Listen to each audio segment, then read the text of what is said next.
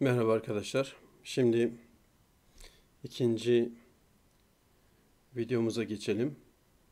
İkinci videomuz kısa olacak. Bundan sonraki bütün videolar bu konuyla alakalı. Yani Lightning e, Design sistemle alakalı videolar kısa olacak. Birincisi biraz uzun olmuş olabilir. Çünkü orada class nedir, style nedir, biraz HTML'e falan gittik. O yüzden uzun oldu. Bundan sonraki videolar kısa olacak. Hemen VS Code'umuza gidelim arkadaşlar. Burada. Şimdi e, bir sonraki yine bir division yapalım. Şu şekilde. Bunun içine this is a title yazalım. Title e, e, klasına bakacağız. Hangi klası kullanarak title alabiliyoruz. İkincisini oluşturalım. Buna da e, this is a title in uppercase diyelim. Uppercase yapalım arkadaşlar.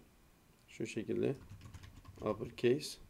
Üçüncüsünü de şu şekilde yine bir division oluşturalım. İçine this is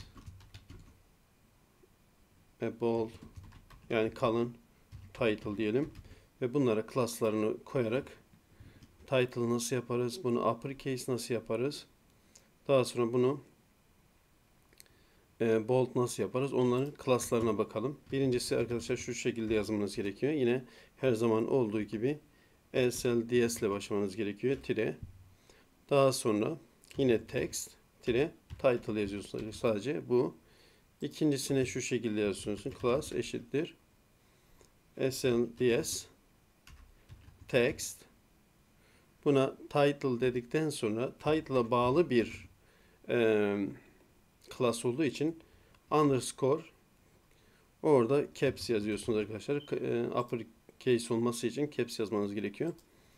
Üçüncüsü de şu şekilde arkadaşlar. Yine class'ımızı oluşturuyoruz. slds dire yine text dire yine title çünkü bu bir title olduğu için title'ın bu kez bold özelliğini kullanıyoruz. Bunlara benzer başka e, başka klaslar da vardır. Daha sonra bunları ekleriz. Şu anda 3 tanesine bakalım. Bunu kaydediyorum.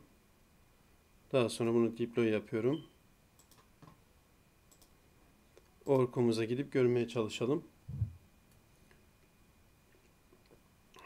Yani birkaç kere refresh yapmak e, çözüm ama eğer öyle istemiyorsanız hemen daha kısa yoldan edit page diyelim. Save deyip geri gidelim.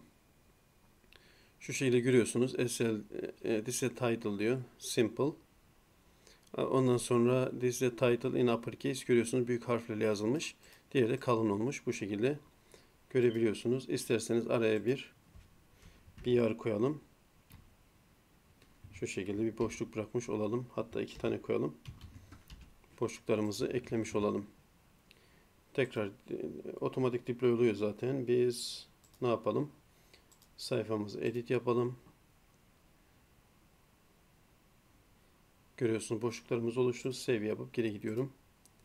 Evet boşluklarımız oluştu. Bu şekilde ikinci videomuzu çekmiş olduk. Burada ne öğrendik?